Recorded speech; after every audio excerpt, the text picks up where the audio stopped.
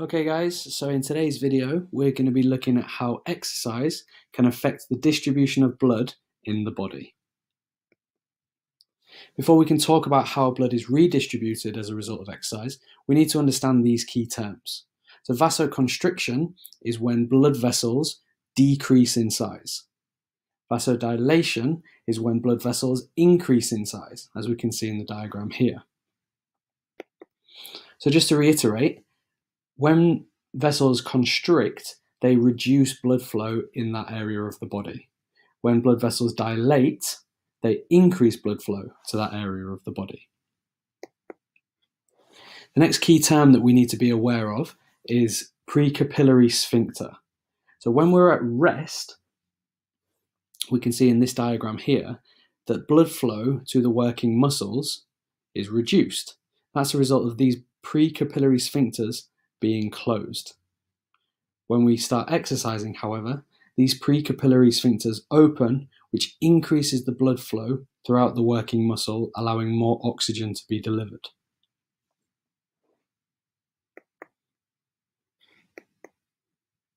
Okay, so during exercise, blood flow is redistributed away from non essential body parts to working muscles.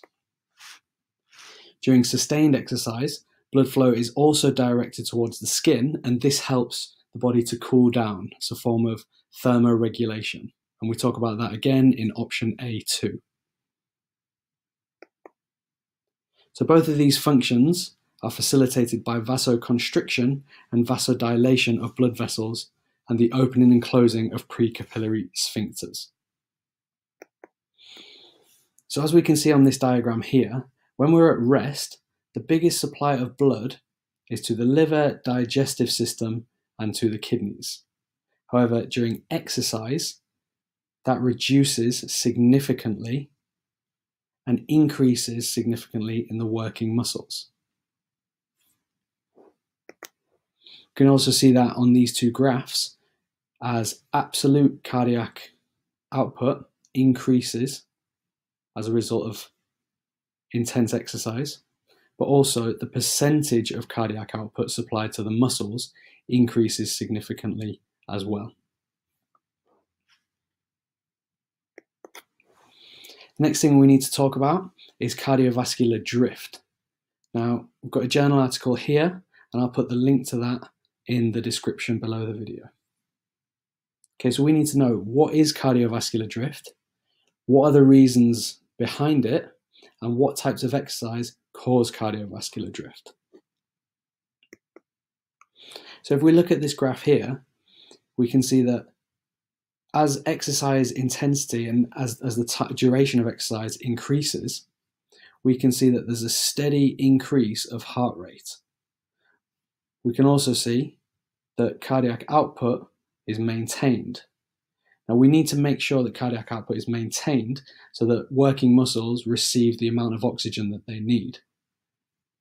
The reason why cardiac output doesn't increase, however, as a result of heart rate going up, is because stroke volume goes down. Okay, as well as mean arterial pressure. So we can see on the graph here, stroke volume and mean arterial pressure are reduced, whilst at the same time, heart rate increases. So the reasons for this decrease in stroke volume is a result of um, blood flow increasing to the skin as a result of vasodilation, but it's also caused by um, dehydration as a result of sweating during sustained periods of exercise. So, what are the implications then for your training to make sure that you don't experience this?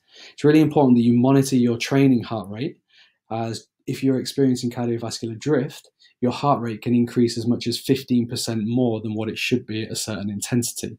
So it's important to monitor your heart rate. It's also really important that you maintain your hydration levels. Okay, so what you can do now is you can have a practice at drawing your own graph to represent cardiovascular drift, remembering that heart rate increases, stroke volume decreases, whilst maintaining cardiac output. Okay, thanks for watching. See you next time.